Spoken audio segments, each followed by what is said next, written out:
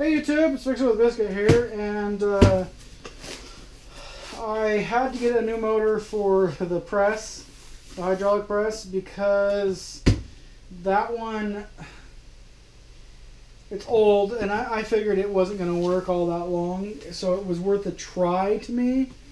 So I gave it a shot. Uh, it's not going to work.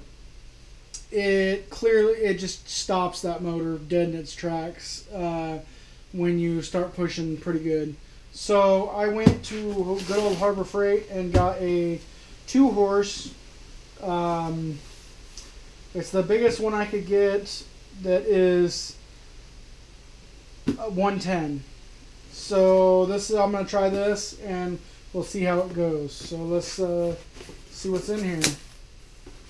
Yeah, I got the two horse one and Let's see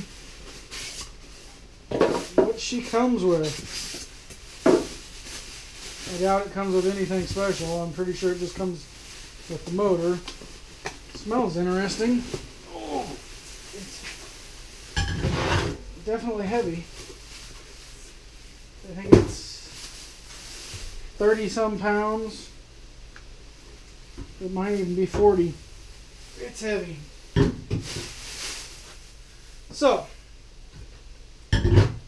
we got this one here. It has a, oh, it comes with a keyway. That's cool. It actually comes with the key. Uh, 7 8 shaft is what's in this one, uh, which is cool here. It gives you the instructions to be able to wire it differently from 115 to 230 volts, uh, which would be 220. And uh, the other thing is, is I don't think I mentioned it, that, okay. Anyways, um, I had to wire the motor that is on my hydraulic press uh, power pack unit, whatever you want to call it. I had to wire it in reverse because of that's the way that pump pumps is in reverse. So I'm going to have to wire this one going in reverse too. And I'll go ahead and have a video of that showing you. But uh, here is a, I think this is the shut off. So when uh, you overload this motor, it's got a uh, shut off here, and you just push that, and you're back in business.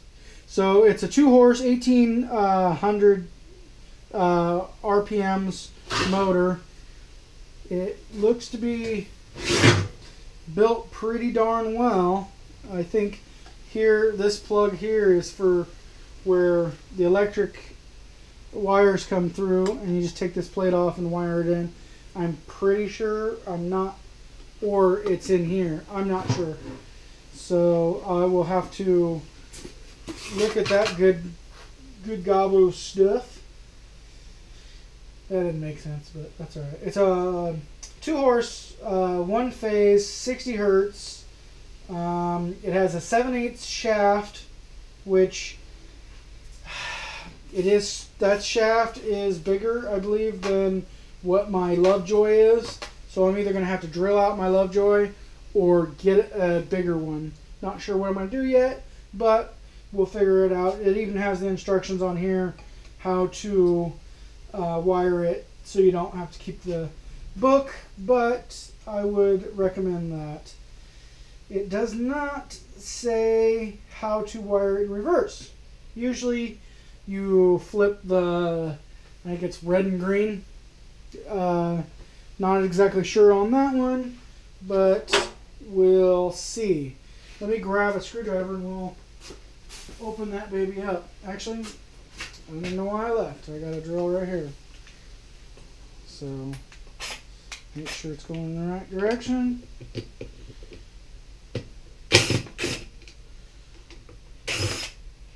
Let's see what's in here. Ugh. Okay. So, yeah. not quite sure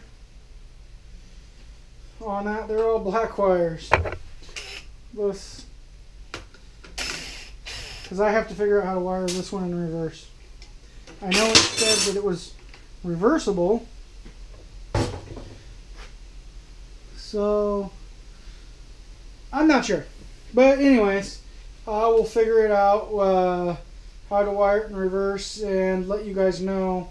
I'll probably do a video of that, but right now I'm just kind of looking at it, checking it out. So we'll check this out and uh, get her mounted on the hydraulic power pack unit and we'll see you after that. Thanks for watching.